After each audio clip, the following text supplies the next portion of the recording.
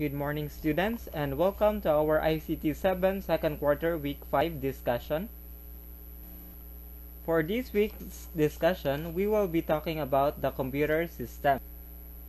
And for our objectives, at the end of the lesson, the student will be able to A. Input data into computer B. Access information using computer C. Produce output or data using computer system and use basic functions of a triple W browser to locate information. So computers in a changing world. So years ago, we used calculator to compute. So it takes some time to solve huge amount of numbers. But today, we use computers to solve billions of math problems. Then um, also years ago, we used landline telephone to call our friend. But today we use mobile phones to call anywhere to anyone. Then so and also for years ago we send our mails through post office. So it takes several days to receive. But today uh, we send messages through the computer. So uh, it will only take a few seconds before they are being received through uh, the receiver. Then also, um, years ago, we go to the library to look for information in books. Uh, but it's still um, usable these days. But um, usually these days, we search information on the internet. We use cell phones or even our computer. So computers and its types. A computer is an electronic machine that processes and stores information. So it takes in raw information using input devices, is stored in the memory until it is ready to be processed in the processing unit and sends out results using out devices. So computers are classified into four. So the four different types based on its processing power and size. So we have supercomputer, mainframe computer, microcomputer, and mini computer. So let's talk about uh, the types of computers. So first we have supercomputer. So it is the fastest and most powerful computer in terms of performance and data processing. So it uses its power to run one program at a time. So it is used in research and exploration, weather forecasting, and nuclear weapon testing. The next we have mainframe computer. So it is not as powerful as the supercomputer, but it is designed to run multiple programs current, concurrently. So it is commonly used in banks, educational institutions, and insurance companies. Then we have mini computer. So mini computer is also known as mid-range computer which fill the space between the mainframe and microcomputer. So it is smaller than supercomputer or mainframe computer, but bigger and more powerful than the microcomputer. So they are generally used as mid-range servers. So some of its uses are as data management device, communication portals, and processing control. Then we also have the microcomputer. So these are the most widely used computer nowadays. So examples of that are desktops, laptops, tablets, and smartphones. And it is the cheapest among the different classes of computers. So these computers is designed for general usage such as entertainment, education, and work purposes. So these are uh, the computer that uh, we can bring uh, anywhere or um, anywhere we want. So now let's talk about the elements of computer system. So a computer system is a collection of entities that are designed to receive, process, manage, and present information in a meaningful format. So it has three elements that will make a computer really useful. So these are the elements of computer system. First, we have hardware, software and peopleware so we will be talking about each elements so first we have the hardware so hardware refers to the physical tangible computer equipment and devices which provide support for major functions such as input process output and storage so these are the components of computer hardware. Input device output device process device and storage device. So let's talk about um, the input devices.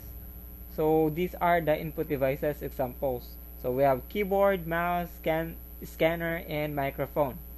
So input devices are composed of a device that accepts data and instructions from the user or from another computer system so first we have keyboard so a computer keyboard is an input device used to enter characters and functions into the computer system by pressing buttons or keys. It is the primary device used to enter text. You can use uh, the keyboard by using your um, fingers. Then we have mouse. The mouse is another input device used to point and select objects on the computer monitor. So using the mouse and keyboard in combination allows the computer user substantial latitude in how to accomplish a wide variety of tasks. Then third, we have the scanner. So a scanner is used to capture a source document and converts printed data or images into an electronic data format that a computer can store or process as required. It is like an example, uh, like an um, camera which uh, captures an image. So it is most likely um, with the scanner. Then also we have microphone. So microphone is used to input sound that is then stored in a digital form. So it is used for various applications such as adding sound to a multimedia presentation or for mixing music just like what I'm doing right now I'm recording this or um, giving this uh, presentation to you or discussion to you uh, using my microphone. Then next, uh, let's talk about the output devices. So output devices is or are any piece of computer hardware that displays results after the computer has processed the input data that has been entered. So examples of output devices are monitor, printer, speaker, and projector. So projector, I, mean monitor is a mon is an electronic visual computer display that includes a screen circuitry and the case in which the circuitry is enclosed. So uh, the monitor will uh, uh, will show you the visual uh, computer display or displays any information uh, that can be seen on the monitor. So next, um, printer. So the printer is a device used to print text and pictures. So just like in the picture. So once you uh, print the file uh, you have, uh, it will uh, the printer will print the text and the pictures you printed. Then next we have the speaker. So a speaker or a computer speaker is an output hardware device that produces sounds. So once you turn it on the speaker, uh, once you uh, play a video or a music, the speaker will produce sounds with that music you played. Then lastly, we have the projector. So a projector is an output device that projects an image onto a large surface such as a white screen or wall.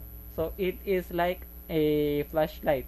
So when you light a flashlight, you can uh, see the uh, you can see in the dark. But uh, when you use projector, uh, what what is in the computer on your computer will um, projects onto any wall or any where you um, point the projector so what will be the information on the computer will be shown on the projector when it projects onto the wall or anywhere you want it. So next we have the process devices. So these are the computer cir circuitry in the system unit. So it plays an important role in processing operations. It is used to process data using instructions from the program. So we have the motherboard, mainboard or system board, the CPU or the central processing unit, the RAM, and the random access memory and video card or GPU, graphics processing unit. So now let's talk about first the motherboard. So uh, you can call it mainboard or even system board. So it is the main circuit board of a computer and it contains all the circuits and components that run on the computer. So next we have CPU or the central processing unit. So the processor is the main or main brain or heart of the computer system. So it performs all of the instructions and calculations that are needed and manages the flow of information through a computer. Then RAM. Random access memory or RAM is volatile, meaning it holds data only when the power is on. But when the power is off, RAM's contents are lost. So that is um, that is our RAM. Then next we have the video card or the graphics processing unit which is also called a display card, graphics card, display adapter or graphics adapter is an expansion card which generates a feed of output images to a display device such as a computer monitor. So uh, this video card or graphics processing unit um, will improve your uh, the quality of images displayed on your computer. So storage device so these are uh, devices which stores data and programs. And these hold data, information programs permanently. So we have uh, magnetic storage, optical storage, and flash memory. Then for the magnetic storage, we have hard disk drives or floppy disk. Then for optical storage, we have Blu-ray, CD, and DVD. Then for flash memory, we have solid state drive, memory card, and USB flash drive. So we will be talking of each in the next slide.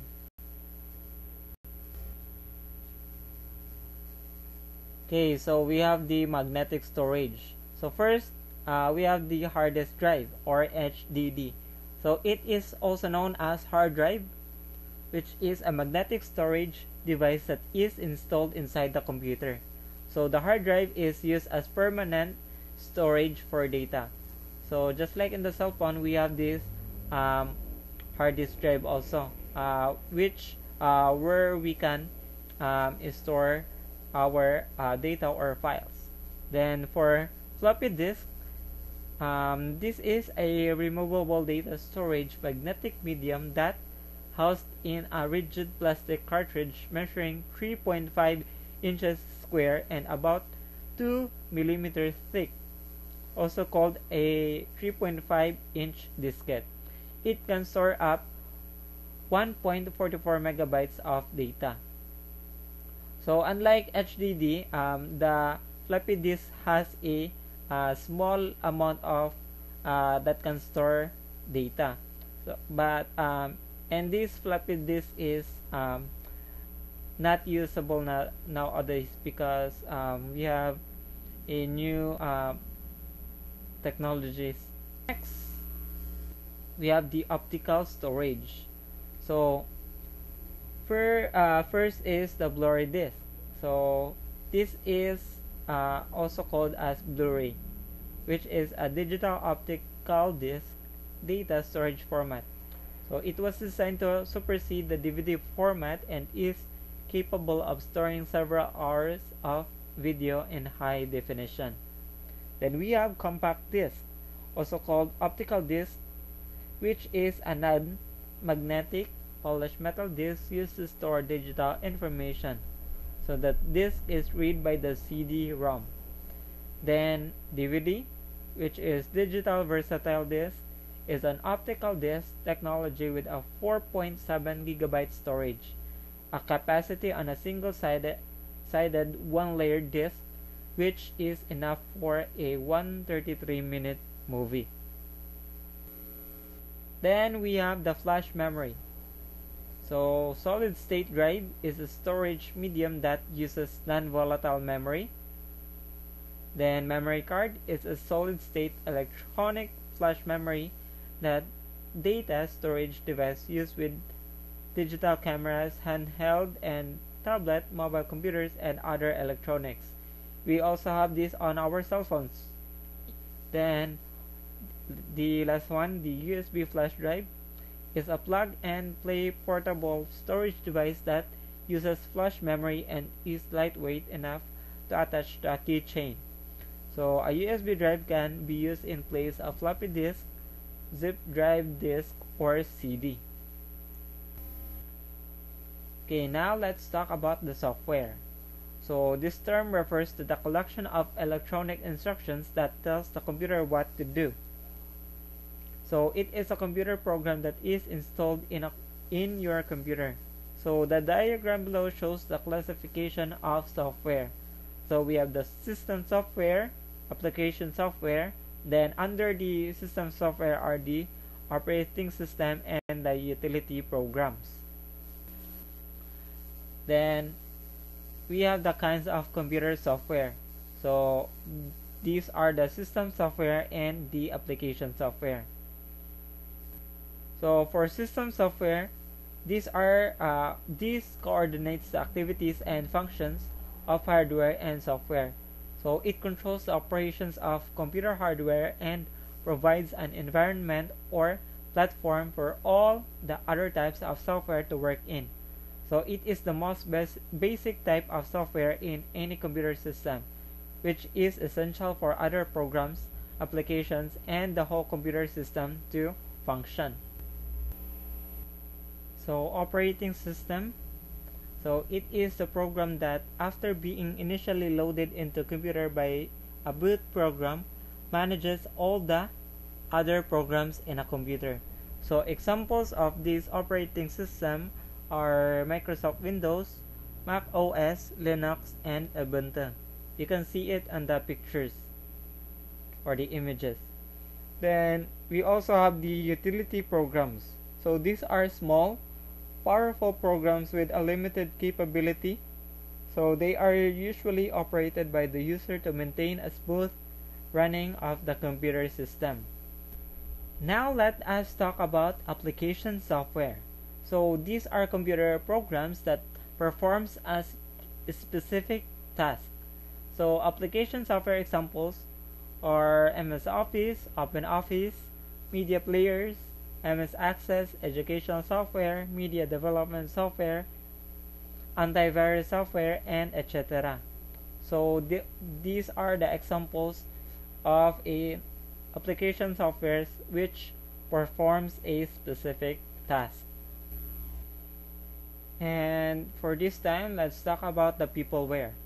So peopleware, so the most important element of computer system is its users. So the following types of people interact with a computer system. So these are system analysts, system programmers, and system operators. So system analysts are people who design the operation and processing of the system. Then we have system programmers, which are people who write codes and programs to implement the working of the system. Then also the system operators, which are the people who operate the system and use it for different purposes. Also called the end users like students, teachers, and other professionals like us. So that's all for this week's discussion and thank you for listening and may God bless you on your activity after this video presentation.